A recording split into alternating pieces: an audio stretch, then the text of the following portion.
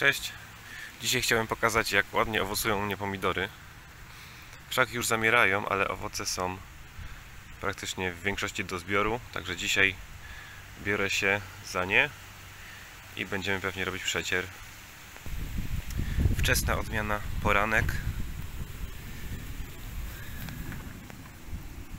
Bardzo dobra w mojej ocenie. Owoce bardzo smaczne, nie za duże, ale są ba bardzo dobre w smaku. Krzaki usychają, te liście, ale to nie jest jeszcze zaraza ziemniaka. To raczej jest dlatego, że one po prostu już skończyły wzrost i ze starości zamierają.